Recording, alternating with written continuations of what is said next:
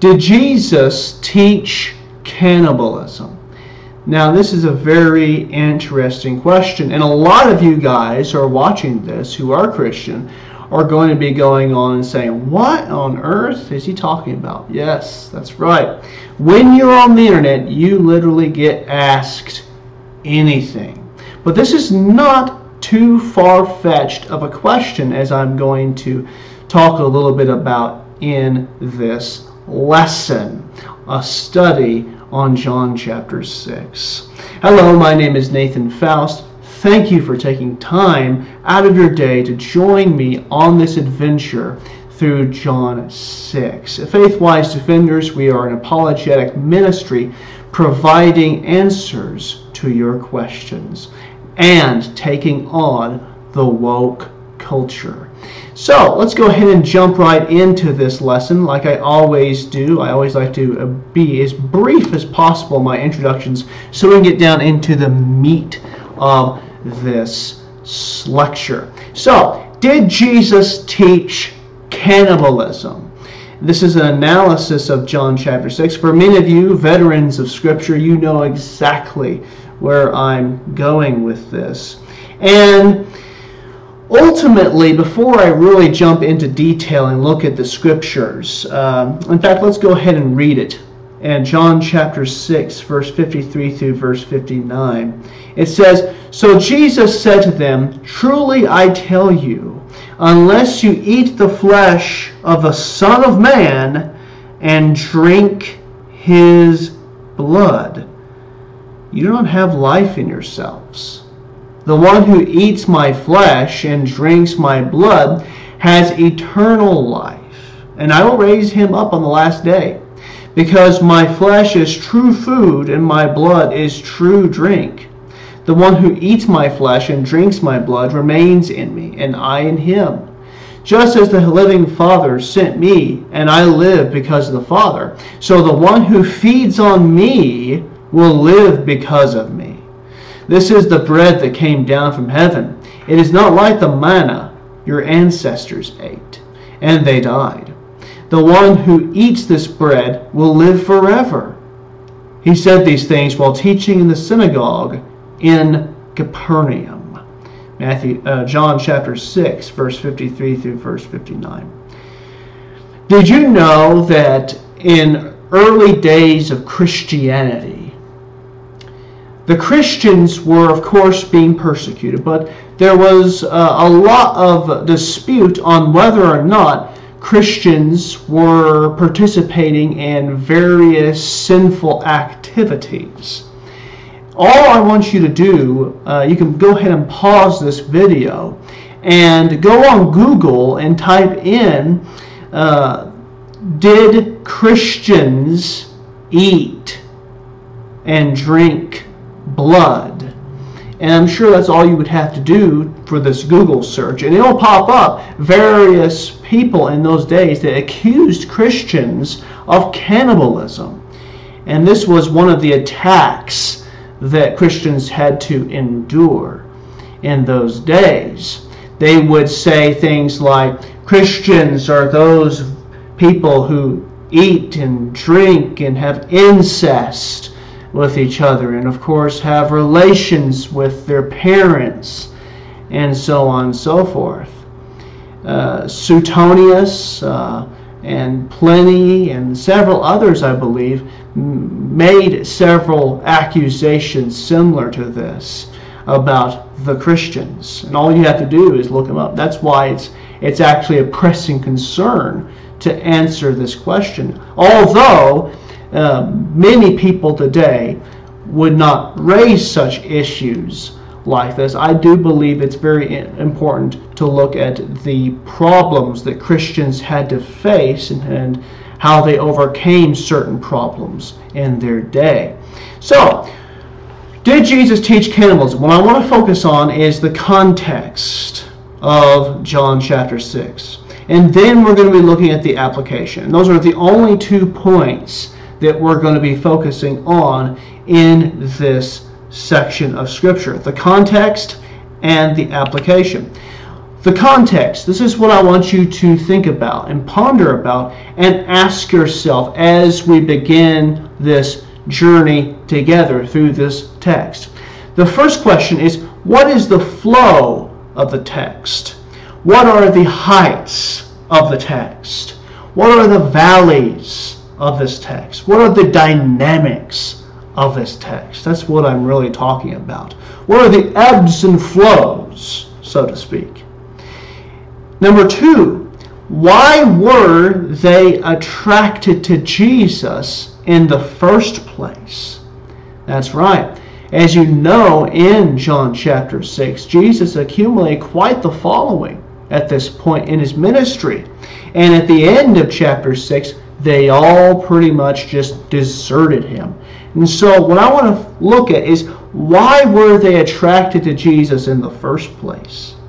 And number three, what is the meaning of these verses? What is Jesus really talking about? Is he actually talking about eating and cannibalism, becoming zombies or some sort of vampires in nature? And number four, well, we will we'll see if we can get this far in the amount of time we have, is what was John's purpose for adding this event to his gospel? So those are the four points. What is the flow of the text? Why were they attracted to Jesus in the first place? What is the meaning of the verses? And what was John's purpose for adding this? And this is actually a good outline for you guys to apply to each and every pericope you stumble upon uh, during your own studies. And for those of you who may or may not know, a pericope is a section of Scripture. So, let's begin with the outline of John chapter 6. We're getting to understand, to know the feel or the flow of the text. Well, it starts off with Jesus feeding the 5,000 in John chapter 6, verses 1 through verse 15. Okay, so that's one thing. Number two, Jesus walks on the water, all right, 16 through 20. Jesus then teaches on the bread of life, John chapter 6, verse 21 through verse 59, and then they all deserted him in the end. And that, and that is the C or conclusion of the chapter. And this is something really important to see, especially for those individuals out there who want to start a ministry. Your days aren't always going to end happily. Your missions aren't always going to end on a happy note. There's going to be some problems. There's going to be some problems in your life. There's going to be ebbs and flows and mountains to climb in your life. And this is, of course, ends on a very sad note on Jesus' ministry on that regard, as far as the people is concerned. But here's the question Were they really there with him from the beginning, if they actually deserted him? That's the question that I want you to keep in mind. Sure, it may seem like it's sad, but if you look at the context, if you understand what's really happening, it may not be. The mood of John 6, we'll understand in the flow here. Jesus had compassion on the crowd that followed him. Mark 6:34 says they were like sheep without a shepherd. Now, I don't know how many of you actually rose sheep or or had to take care of sheep. Uh, I never did, but I live uh, when I was younger. I lived close to a farming community. Uh, Hereford, of course, was a, quite a farming type community, in Texas. And um, I was always told by the farmers that sheep were the dumbest little things you would ever find. And they meant that with compassion in their heart. They, they didn't mean to belittle the sheep, but they were they were dumb and they were always looking for someone to lead them. And that's pretty interesting how the Bible compares Christians to us people as sheep and in this case, sheep without a shepherd. Now, the Bible isn't trying to be little, but it seems like people in nature always try to rally themselves around somebody, and they were looking for somebody. I can just visualize this desperate, sensational gaze or eyes that these people were having. They were downtrodden and they were beaten and they were poor. And they were looking for someone. They were looking for a guiding light. And of course, Jesus appeared and he had the guiding light, and they began to follow him. Jesus' compassion turned to a stern warning for the followers, found in John chapter 6, verse 24. It says, When the crowd saw that neither Jesus nor his disciples were there, they got into boats and went to Capernaum looking for Jesus. When they found him on the other side of the sea, they said to him, Rabbi, when did you get here? Jesus answered, Truly I tell you, you are looking for me not because you saw the signs. Here's their purpose. All right? Remember, a few moments ago when we were looking at the outline, here it is. When I said that it's it kind of ends on a so, sad and sorry note in John chapter 6 verse 60 through verse number 70, but what I want to make the point I want to make is that was it really sorrowful at the end? It took on a sour note in the middle of the story or in the beginning of the story. It says, But because you ate the loaves and were filled. So Jesus saying, You weren't following me because of the signs. You weren't following me because of the miracles that I did. You were following me because you guys were hungry. You guys wanted food. And he said to them, Don't work for the food that perishes but for the food that lasts for eternal life, which the Son of Man will give you, because God the Father has set his seal of approval on him. And this, right here, sets the stage for Jesus to say, I am the bread of life. This right here, this purpose, this fact that they were just following him to fill their bellies. So the question is were they following him because they loved him? Did they follow him because they had an honest, earnest zeal to hear his uh, lessons and teachings and apply it to their lives? Scripture says they were after him because they wanted to be filled. And that's why Jesus gave this stern warning to them. So the mood of the text, Jesus continues to teach them, John chapter 6, verse 26 through verse 51. The crowd becomes frustrated. Why? Because, in John chapter 6, verse 60, why does the crowd become frustrated? Because they couldn't understand it. He said, This is a hard saying. My friends, the Word of God is hard. We're going to have to rebuke we're going to have to reprove, as the Apostle Paul says. And the Word of God is not always flowers. There's a lot of beautiful things in the Word of God. There's a lot of wonderful things in the Word of God. But there's going to be some things in here that's going to cause individuals to desert you, to leave you, and to get frustrated. And so the crowd leaves him. I want to look at some of the words now, and let, us delve deep and see whether or not Jesus was teaching cannibalism. Jesus identifies himself as the bread of life, and we see the context now, don't we? We see why he said that. And it says, I am the bread of life, Jesus told them. No one who comes to me will ever be hungry, and no one who believes in me will ever be thirsty again. I am the bread of life. And we see that in John 6 35, John 6 41, 48, and 51. So Jesus says he's the bread of life.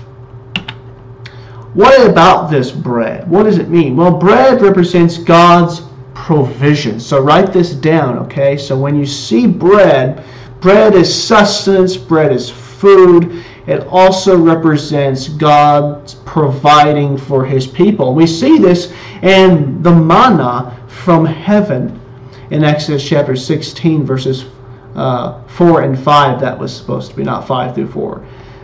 4 through 5. Manna from heaven, Exodus chapter 16. We also see this from the table of showbread, Exodus chapter 25, 23, 30, and so on and so forth. God's ultimate provision for his people. The bread, the manna, what does it represent? God is going to take care of his people, fulfilling Matthew 6, verse 33, right? Jesus said, You're going to have all this stuff. All you have to do is seek the kingdom of God first. That was the story. That was the point of the manna, the bread. He says, You don't have to worry. You follow me to the very end, and I'll take good care of you. He takes care of the birds of the field, correct? You are much more than they are. Why? Because you are made in God's image, the Imago Dei, Genesis chapter 1. So God will provide for you. That's the promise that the bread symbolizes. So, what is the meaning of the example? Well, that means we are provided for in a spiritual sense through Jesus Christ. It is through Jesus that we have life and have it abundantly. It is through Jesus that He provides truth. It is through Jesus that God provides for our needs, our spiritual needs. It's through Jesus that we have salvation. John 3, verse 16. First John 2 verse 2, one of my favorites. First John 2 verse 2.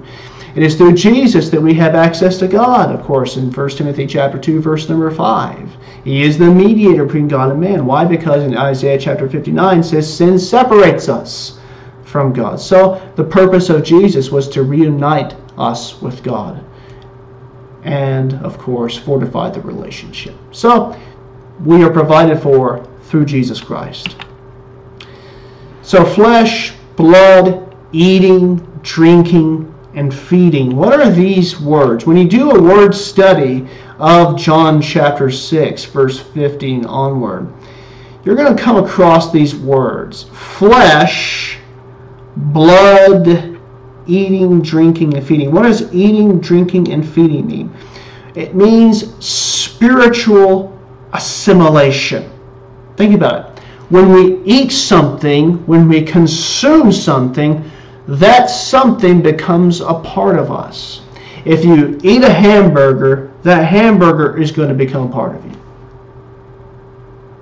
If you eat anything, if you drink anything, it becomes a part of you. So there's a sense then of this spiritual assimilation. If you eat Jesus, if you partake of him, then you become assimilated with him. He becomes a part of you in a sense. And this isn't actually talking about the physical of eating the Eucharist or eating the communion and then you get this special power of becoming one with Jesus. No. What this is really referring to is that when one follows Jesus, when one follows his commands, when one studies the Bible, when one's a good student of God's Word, when they try their best to live a good life for Jesus. Then they become assimilated. A spiritual assimilation takes place. This, of course, goes back to the Passover. Um, and of course, it has some connections, of course, to the Eucharist, as we know later on. Um, Jesus is going to say pretty much similar things about the Last Supper and the Passover and this is a Christological meaning. So, not going to get too much involved in that, but know this it's a spiritual assimilation. When, when it says eating, drinking, and feeding, we are technically assimilating ourselves and becoming one with Jesus, and this is all spiritual. It's nothing, it's nothing, it has nothing to do with the wafer, it has nothing to do with the wine or the juice that you drink. It's all a spiritualizing of the situation. Remember, it goes all the way back. If I just flip back here to John chapter 6, verse 24. When the crowd saw that neither Jesus nor his disciples were there, they got in the boats and went to Capernaum looking for Jesus. When they found him on the other side of the sea, they said to him, Rabbi, when did you get here? Jesus said, Truly I tell you, you are looking for me, not because you saw the signs, but because you ate the loaves and are filled. Don't work for the food that perishes, but for the food that lasts for eternity. Now, is there a food, is there an apple out there that can fill you for eternity? Let me know because there's no such thing as that. So this is a spiritualizing of the situation. So, essentially, Jesus was speaking metaphorically. Now, we go to our fourth and final point. What was John's purpose for adding this into his gospel? Well, to speak of the lordship of Jesus Christ. If you look throughout John's gospel, this is an extremely powerful point that John is trying to get. And this is the reason why many of the scholars, like Dr. Bart D. Ehrman, Dr. James Tabor, Dr. Robyn Faith Walsh, I think that's how you say her name, W A L S H, if I said that wrong, please inform me in my comments because I want to be corrected if I'm wrong. And all these other type of supposed liberal scholars are trying to undermine. They're trying to attack, they're trying to defile, they're trying to assault the lordship of Jesus Christ. That's why they always like to pick on John's gospel. So that is John's point. The lordship of Jesus Christ. It is through him that we have eternal life and are provided for. So, what is the application? If we take on Christ, if we take on Jesus and spiritually assimilate his essence, then we have life. How can we do that? By reading the Word of God by studying it, by enjoying it, and by becoming serious practitioners of his teaching.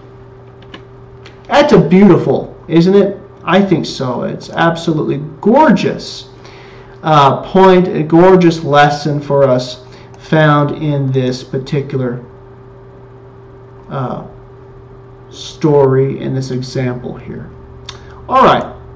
Without further ado, thank you for joining, and I hope to see you next time. And remember, be arduous students of God's Word.